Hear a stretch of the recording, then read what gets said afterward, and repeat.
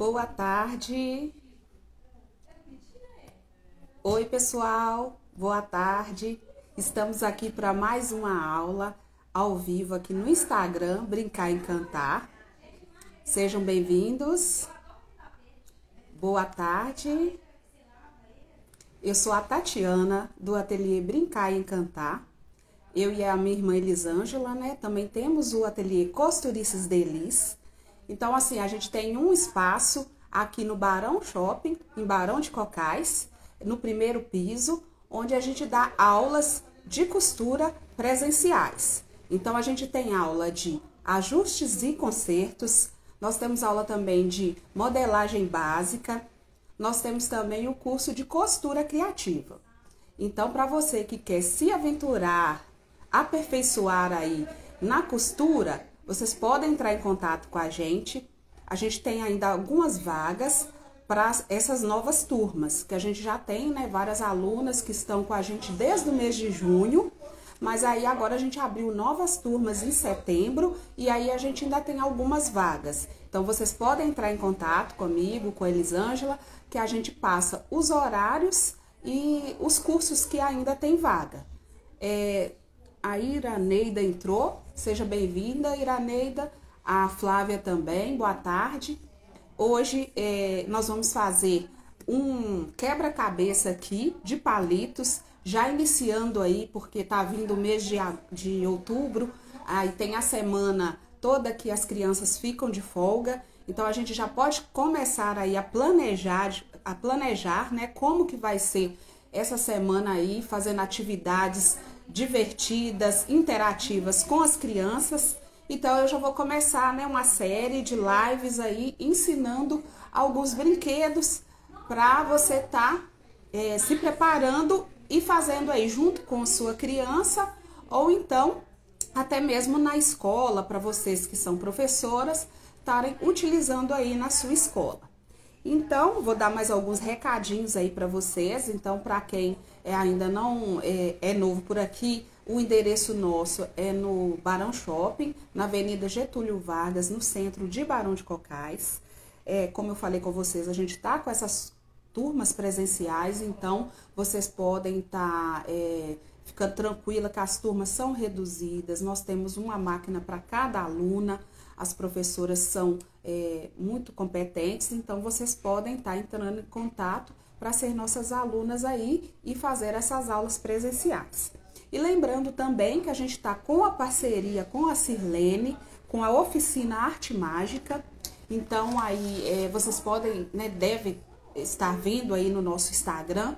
A gente tem publicado as nossas oficinas, onde a gente personaliza a sua festa, o seu evento de acordo com a sua necessidade, de acordo com o que você quer aí para deixar a sua festa inesquecível. Então, nós temos oficinas é, para infantil, né? Infan é, oficinas infantis para as crianças, tem de massinha, tem de criatividade com retalhos, nós temos show de prêmios, nós temos o festival que é o queridinho das crianças, que é o das bolhas mágicas, as bolhas gigantes, mas nós temos também oficinas para os adultos, né? Nós temos também de crochê, de bordado livre, nós temos também oficinas é, de contas artesanais, então vocês podem estar tá entrando em contato com a gente, que a gente faz o, o, orçamento e personaliza e ajuda você a deixar aí a sua festa do seu jeitinho para encantar os seus convidados.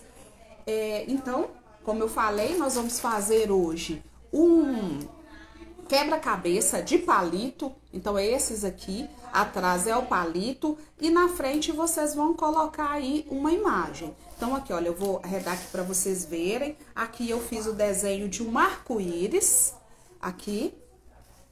Então, eu vou ensinar para você passo a passo que você vai estar tá precisando aí para estar tá fazendo esse quebra-cabeça. Então, assim, é mais uma opção aí para vocês estarem fazendo junto com a sua criança aí e para estar tá, é, fazendo várias atividades aí na semana é, de feriado, né? Semana de folga do mês de outubro. Então, aqui eu, eu fiz esse aqui com os palitos e usei essa paisagem aqui, que é uma piscina com um arco-íris. Então, para a gente fazer esse quebra-cabeça, nós vamos precisar de uma imagem, né? Aqui no caso, o que eu vou fazer agora é de um cachorrinho. Eu imprimi é, no papel fotográfico, porque ele tem um brilho, e também nessas folhas que são adesivadas, para já facilitar na hora de eu colocar aqui nos palitos. Mas se você quiser também, você pode estar tá utilizando é, a fita dupla face para você estar tá colando também. Aí eu, nós vamos precisar de palitos, eu estou utilizando desses palitos de picolé aqui mais grossinhos. Deixa eu ver aqui, ele tem um centímetro e meio de largura e o comprimento normal do palito de picolé, que é 13 centímetros e meio. Então, eu estou utilizando aqui.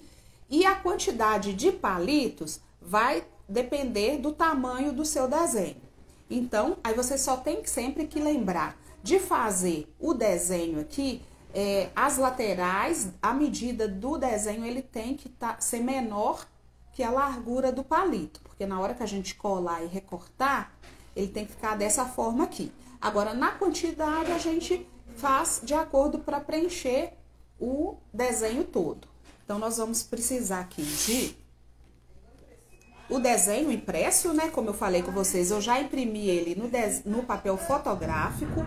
Aí, nós vamos utilizar aqui também. Eu gosto de pegar o papel contact para estar tá passando por cima para é, ficar assim mais seguro, mais fácil de limpar. Mas se você não tiver o papel contact, você pode também estar tá utilizando os durex largos também. Porque às vezes você vai fazer em casa, é, você mamãe, né, vai utilizar o recurso que você tem em casa mesmo. Aí o que que eu vou fazer? Eu vou pegar aqui, vou tirar o papel contact, vou passar ele aqui, vou colocar ele por cima do desenho para proteger. Mas o legal também dessas folhas aqui é que ela já tem um brilho e ela já tem uma película. Mas aí eu vou colocar esse outro papel contact aqui por cima para ficar mais protegido. Aí aqui eu vou vir é, fechando. Então, eu gosto de passar a régua assim para tá evitando que dê bolhas. Então, eu venho puxando o papel aqui, arrastando a régua até terminar aqui para não dar nenhuma bolha no meu desenho. Então, aqui, olha, eu já fiz, já coloquei essa camada protetora aqui que é a do papel contact. E lembrando, pessoal, que se tiver alguma dúvida, vocês podem estar tá deixando aqui nos comentários. Essa live vai ficar salva aqui no perfil nosso, no nosso Instagram. Então, vocês podem, que estiver assistindo mais tarde, tiver alguma dúvida, vocês podem estar tá entrando em contato que a gente é, responde vocês. E caso vocês queiram também essas imagens disponíveis, a gente manda para vocês também. Esse cachorrinho aqui eu fiz ele no Canva, é gratuito nessa imagem gratuita do Canva, eu posso disponibilizar para vocês o arquivo e essa imagem aqui do é, arco-íris aqui, eu fiz através de um aplicativo de inteligência artificial. Então, eu posso estar enviando para vocês também. É só deixar aí nos, nos, nos comentários. É, a Stephanie também entrou, seja bem-vinda. Então, nós estamos fazendo aqui um quebra-cabeça de palito de picolé. Então, aí agora o que, que eu vou fazer? Eu vou vir aqui, vou recortar em volta aqui do, do cachorrinho. Esse aqui, como é um desenho só, um cachorrinho, eu vou recortar em volta dele todo. Agora, esse é outro que eu fiz a paisagem, então eu deixei é, o desenho no formato de retângulo mesmo. Eu não recortei o contorno do arco-íris, porque como é uma paisagem, então eu fiz um quebra-cabeça como se fosse um quadro. Aí agora aqui eu vou recortar em volta, né, de todo o desenho aqui. Aí cês, vocês podem estar tá fazendo isso aí também. E o bom que aqui também vocês podem estar tá pegando, igual às vezes tem livros ou revistas que tem gravuras é, de bichinhos, animais, de paisagens é, que as crianças gostem, ou até mesmo foto da família também, fica muito bonito. Aí vocês podem estar tá aproveitando, desculpa gente, é, aproveitando essas imagens e fazendo esse quebra-cabeça aí. Aí, às vezes, antes, né, quando eu era adolescente, assim, que eu era é, criança também, a gente tinha muitos papéis de carta. Aí, às vezes, a pessoa ainda tem guardado esses papéis de carta, eles sempre tinham umas figuras muito bonitas de bichinhos, ursinhos, que a gente colecionava. Então, dá para fazer também os quebras-cabeças, né? O quebra-cabeça com essas imagens aí. Então, aí, vocês podem vir aqui com calma, bem devagarzinho, recortando. E lembrando para quem tem ateliê aí, de sempre deixar uma tesoura separada só para cortar papel, a de cortar feltro, a de cortar tecido, deixar uma tesoura para cada tipo de material, porque aí a durabilidade da tesoura é maior. Porque se você cortar, por exemplo, o feltro com a tesoura de tecido, vai cegar. E na hora que você precisar é, cortar o tecido, a tesoura vai estar tá cega. Então, é bom você sempre deixar essas tesouras separadas aí. Então, pessoal, nós estamos quase finalizando aqui. Eu tô recortando todo o em volta do cachorrinho aqui. Que eu escolhi para fazer esse quebra-cabeça. E também vocês podem estar tá deixando aí nos comentários pra gente e também pra turma do YouTube que geralmente a gente já coloca também esse vídeo no nosso canal do YouTube, que é o Costurices Delis. Vocês que ainda não são inscritos lá, podem entrar no YouTube, seguir, né, se inscrever no nosso canal do YouTube. Lá a gente tem vários vídeos com passo a passo de costura criativa, de artesanato disponíveis para vocês. Aí vocês podem estar tá incentivando o canal é, através é, das curtidas, dos compartilhamentos e também de se inscrever no nosso canal lá.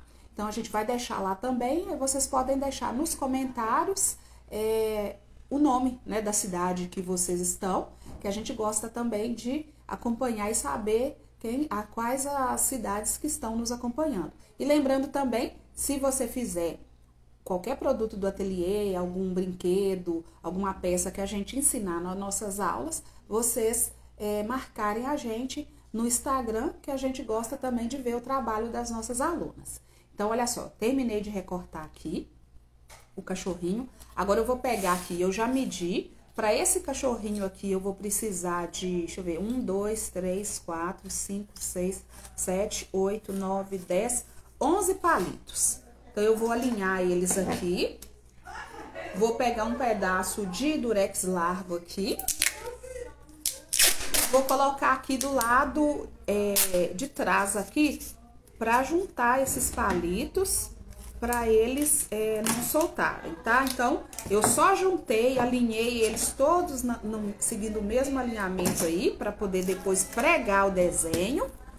Aí ficou dessa forma aqui, só para vocês verem, o durex tá do lado contrário. Aí agora eu vou vir aqui na parte da frente aqui, vou virar o os palitos. Aí aqui eu posso conferir, né, se ficou tudo certinho, retinho. Se não tiver ficado, eu posso soltar os, os palitos aqui, ó, e alinhar para eles ficarem na mesma, é, no mesmo alinhamento. E o bom dessas réguas aqui, é, dessas tábuas, né, é que são, ela tem vários riscos, então dá pra gente deixar o alinhamento certinho aqui, ó.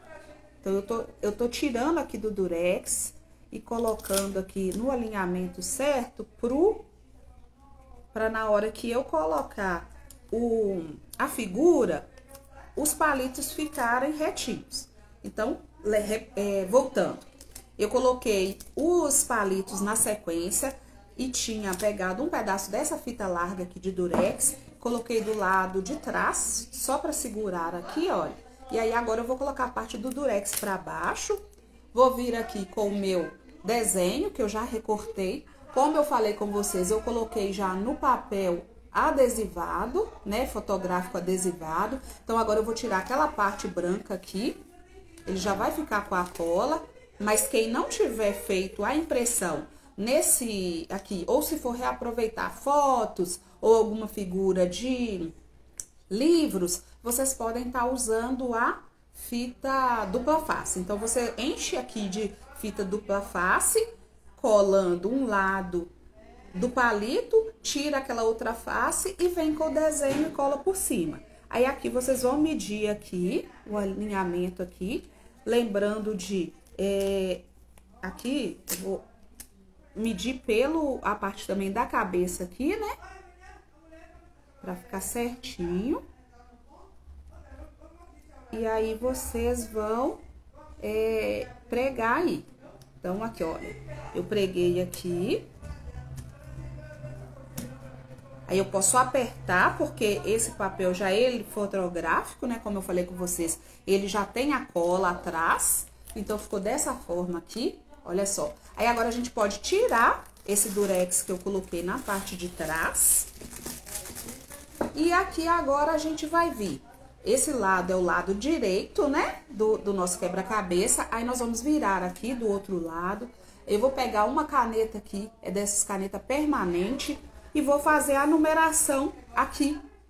Porque se a criança é, para ajudar, porque a criança pode estar tá seguindo pelo desenho e também para facilitar, às vezes você pode estar tá ensinando ela para até não perder também a quantidade de peças que ficou o é, quebra-cabeça. Então, eu gosto de numerar aqui atrás. Esse aqui deu 11 palitos. Lembrando sempre que o número 9 eu costumo colocar um risquinho aqui embaixo para identificar qual que é o número 6 e qual é o número 9. Então, deixa eu chegar mais perto. Aqui vai ficar invertido, mas aqui embaixo eu coloquei a numeração dos palitos. Aí, agora eu vou deixar aqui do lado é, do desenho para baixo, né, com os palitos para cima.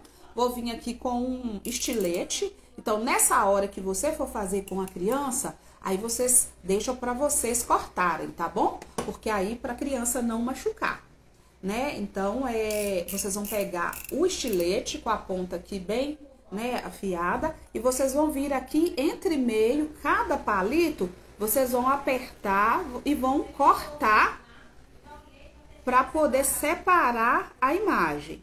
Então, lembrando, pessoal, que tem que estar tá numa base. Essa base que eu estou utilizando aqui é aquela tábua de patchwork, né? Essa tábua de costura. Se você não tiver, você pode estar riscando na é, numa ardósia, numa cerâmica no, ou no vidro. Aí a gente vai cortando todas as partes aqui agora. Então, eu cortei o primeiro aqui, eu vou segurar aqui, apoiar, né? Firmar e vir. Aí tem que colocar um pouco de força para cortar o papel, a camada de papel. E aí a gente vai vir cortando todos os palitos aqui. Então, pessoal, se tiver alguma dúvida, pode deixar aí. Deixa eu tomar uma aguinha aqui. Lembrando, lembrando, quem fizer esse brinquedo, posta a foto pra gente ver, marca o ateliê Brincar e Encantar. E aí a gente gosta de ver o trabalho de vocês.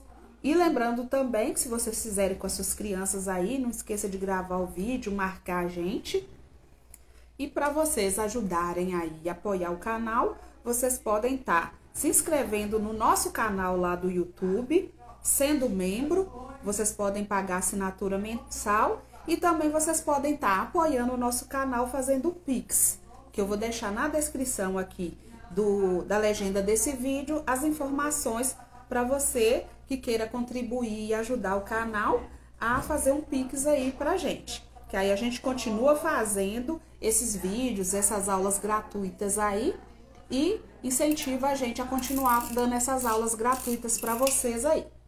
Então, aqui, olha, eu já cortei todas as partes, aí agora é só a gente virar aqui e aí a gente pode formar o quebra-cabeça. Então, olha só para você, vocês verem aqui, aí aqui a parte do olho. Aqui, é claro, quando você estiver brincando com a criança, você vai estar tá é, embaralhando né, todas as peças e ela vai estar tá montando esse quebra-cabeça aí. Aí, como eu falei, esse aqui, ó, peraí, pessoal. Esse aqui tem a parte do rabinho também. Peraí que a parte do rabo não é, colou. Então, eu vou apertar aqui pra colar e vou passar aqui cortando a parte do rabo do nosso cachorrinho. Então, olha só. Aí, agora aqui deu certo. O rabinho ficou do lado de cá. Aí aqui, essa parte do corpinho aqui. Aí a criança vai ir montando. Então, olha só, é bem rápido, fácil de fazer. E aqui ficou o nosso quebra-cabeça aí de palitos. Uma ótima opção aí para fazer junto com as crianças na semana do dia é, do feriado, né, do mês de outubro, que é aquela semana que fica sem aula. Aí geralmente se você não vai viajar, você pode estar tá fazendo aí com as crianças e fazendo várias atividades. Então dá para montar junto com elas, pode até ajudar a procurar as imagens e também é, fotos da família. Tem várias opções aí para vocês fazerem. Então eu fiz com esse cachorrinho aqui, todo recortado, e também tinha feito já esse aqui com uma paisagem que é uma piscina aí com arco-íris. E até mesmo para quem for viajar também pode estar tá levando esse material aí para estar tá brincando com as crianças e ajudando elas a ficarem aí longe das telas. E lembrando também que esse modelo de quebra-cabeça aqui também dá para fazer com os idosos, né? Para estar tá ajudando aí a exercitar a memória, a coordenação motora aí, é, de incentivando eles para poder ajudar para que a gente sempre treine a nossa memória. Então, espero que vocês tenham gostado da nossa aula de hoje, que foi esses dois quebra-cabeças aqui. É, ficou bem bonito, colorido. Quanto mais colorido você fizer, mais as crianças vão gostar, né? Porque as crianças gostam de coisas aí coloridas, chamativas. Então, vocês podem estar tá fazendo aí com elas. E é mais uma opção aí para estar tá fazendo junto e brincando com as crianças. E sempre fazendo, criando memórias afetivas com as crianças. Então, espero que vocês tenham gostado. Não esqueçam de curtir a nossa live, a nossa aula, deixar aqui nos comentários se tiver alguma sugestão de algum brinquedo que vocês queiram ver aqui no nosso canal, vocês podem estar tá deixando nos comentários. E lembrando também que a gente deixa esse vídeo disponível no nosso canal do YouTube, que é o Costurices Delis. Vocês podem estar se inscrevendo lá, é, se tornando membro e compartilhando aí com os amigos que gostam de artesanato. E também pode encaminhar para as mamães, professoras, para elas estarem fazendo aí com é, as suas crianças essa opção aqui, que é o quebra-cabeça de palitos. Então, pessoal, tchau e até a nossa próxima aula.